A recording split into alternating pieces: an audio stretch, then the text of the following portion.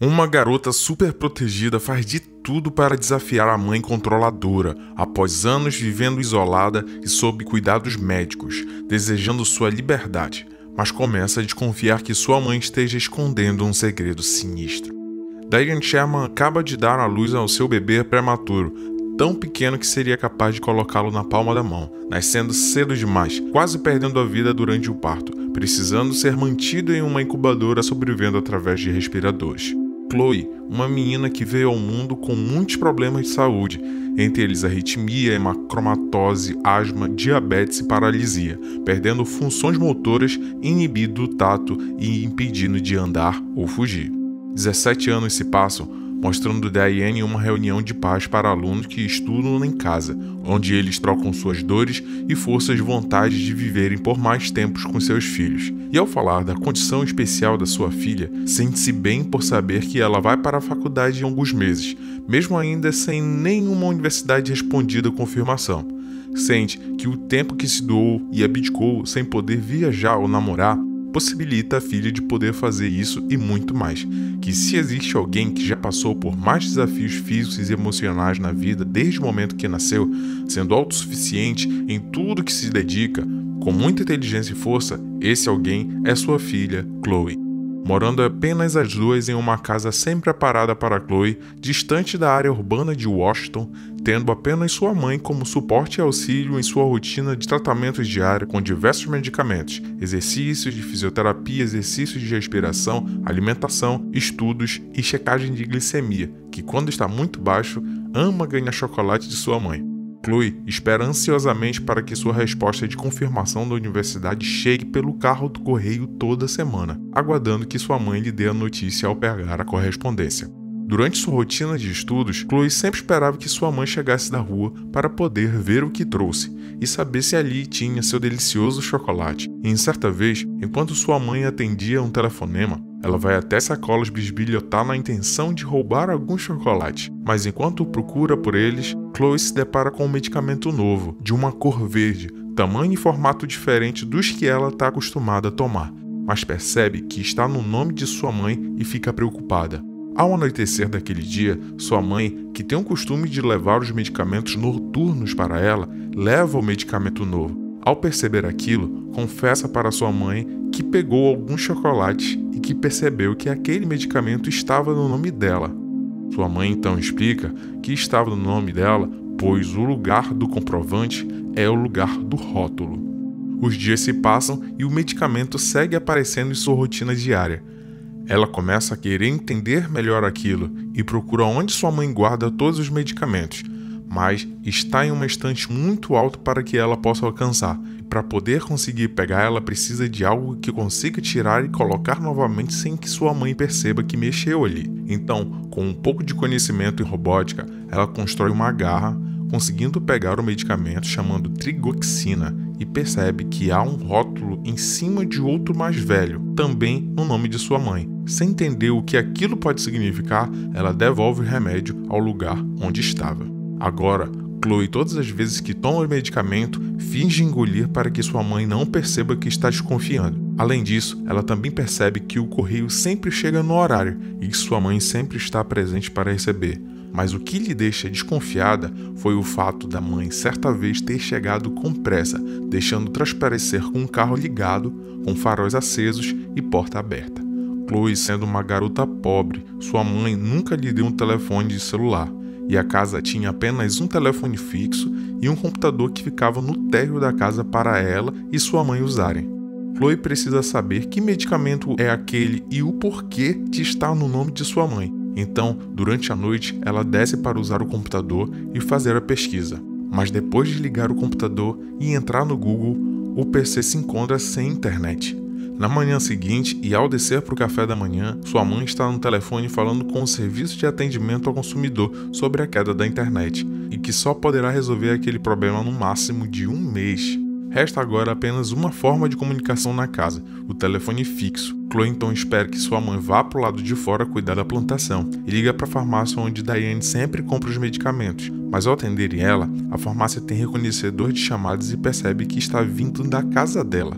Chloe imediatamente desliga, procura outra farmácia no serviço de chamada, mas sem sucesso, pois existe uma taxa a ser paga para esse serviço. Chloe corre contra o tempo antes que sua mãe volte para dentro da casa, tendo que ligar para qualquer número aleatório.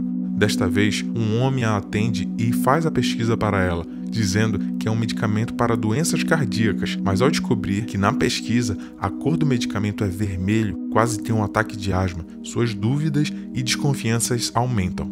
Durante o jantar, Chloe pede para ir ao cinema no outro dia, sabendo que na frente do cinema há uma farmácia essa seria a única chance dela conseguir saber que medicamento é aquele. Então, enquanto está dentro do cinema, pede para ir ao banheiro e vai direto para a farmácia antes que sua mãe dê falta. Lá, entregando a pílula na mão da balconista, descobre que está sendo medicada com ridocaína, um remédio para cachorro que, se consumido por humano, pode levar paralisia nas pernas. Diane, desesperada, acha Chloe tendo falta de ar na farmácia e a leva para casa apagada com o um medicamento injetado para crise de asma. Ao acordar no outro dia, Chloe é presa em seu quarto. Tenta abrir a fechadura com suas ferramentas, mas a porta foi fechada pelo lado de fora. Para tentar sair dali, apenas as janelas, então cria um plano perigoso para sair.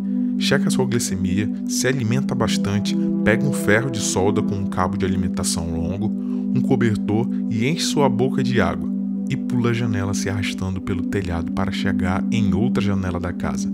Com a janela de vidro fechada, ela usa o ferro de solda para esquentar o vidro e cospe a água segurada em sua boca, trincando e quebrando o vidro. Com um cobertor, ela consegue passar por cima dos vidros quebrados da janela. Seu esforço foi tão grande para conseguir que, ao chegar do outro lado, começa a ter crise de asma novamente, mas consegue abrir a porta do seu quarto e usar sua bombinha.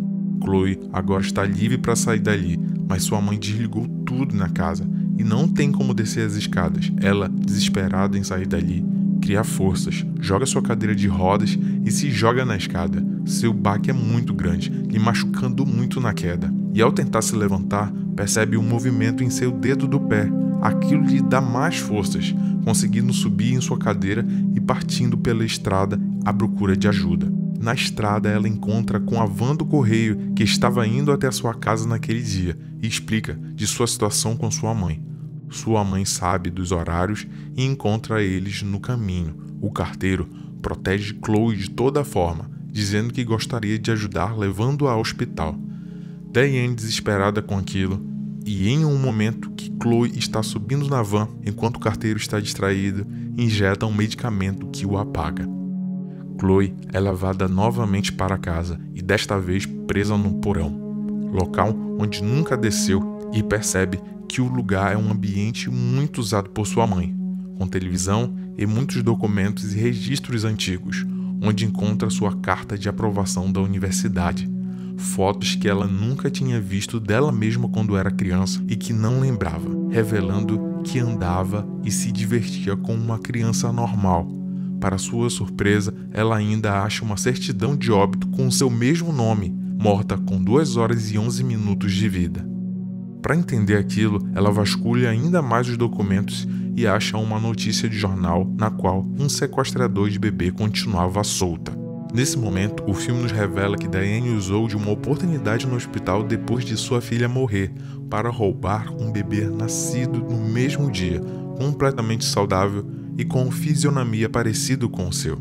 Chloe está desolado ao entender tudo, enquanto Diane lhe acha chorando no porão. As duas discutem sobre toda a farsa que a menina viveu descobrindo de sua saúde e de uma vida quase inteira de envenenamento para causar as mesmas características que sua filha nascida prematura tinha. Chloe, agora sabendo de tudo, Diane está prestes a injetar uma neurotoxina caseira contínea, na qual nós acreditamos que seria para paralisar suas pernas completamente. Assustada, sem saber o que a mãe faria com aquilo, ela se tranca na dispensa de medicamentos onde encontra produtos usados na horta e, percebendo onde está, escolhe e ingere um produto chamado organofosfato, altamente perigoso, precisando ser levada com urgência ao hospital. Diane não tem saída e a leva imediatamente já desacordada. Sendo socorrida no hospital, Chloe acorda em estado grave na UTI, sem poder mover seu corpo ou falar, apenas conseguindo mexer com muito sacrifício seu dedo. Os médicos, por medidas de segurança, dizem a Diane que, mesmo com o quadro dela instável, a tentativa de suicídio na adolescência a coloca na categoria de paciente de risco e que uma psiquiatra ainda deve avaliá-la, mas só fará isso quando Chloe falar. Chloe, sabendo do perigo que corre com sua mãe por perto, se esforça ao máximo para tentar se comunicar mesmo sem ainda falar. Tenta escrever algo em uma folha de papel para a médica de plantão, mas antes que termine, uma chamada de emergência toca no hospital, chamando todos os médicos. Diane, agora com uma arma, aproveita enquanto todos se movimentam no hospital para tirá-la dali. Mas enquanto está se encaminhando para o estacionamento, a doutora volta para encontrar Chloe novamente. E ao não achá-la, encontra o papel escrito mãe e emite o sinal para os seguranças que vão atrás delas.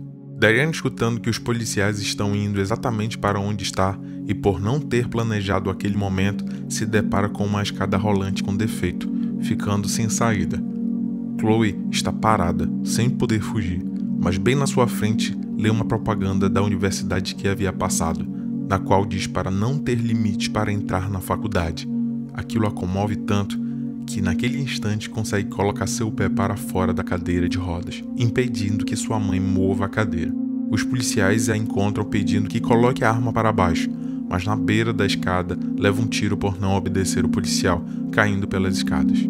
Sete anos depois, Chloe, conseguindo caminhar um pouco, é mostrada visitando Diane em uma prisão para mulheres, falando que agora tem marido e uma filha que está aprendendo a andar, que agora ajuda crianças com paralisia, dando a entender que enveredou por alguma área de medicina e que se sente muito feliz de ver quando consegue fazer algum dos seus pacientes andar. Diane apenas escuta e olha para ela, pois o tiro que a fez cair pelas escadas lhe deixou tetraplégica lhe mantendo em uma cama. Chloe escolheu não se afastar de sua antiga mãe, para poder sempre estar por perto e forçando a ingerir o mesmo medicamento verde que lhe causava paralisia nas pernas. Não se esqueça de curtir esse vídeo e de se inscrever no canal para receber mais vídeos como esse. Em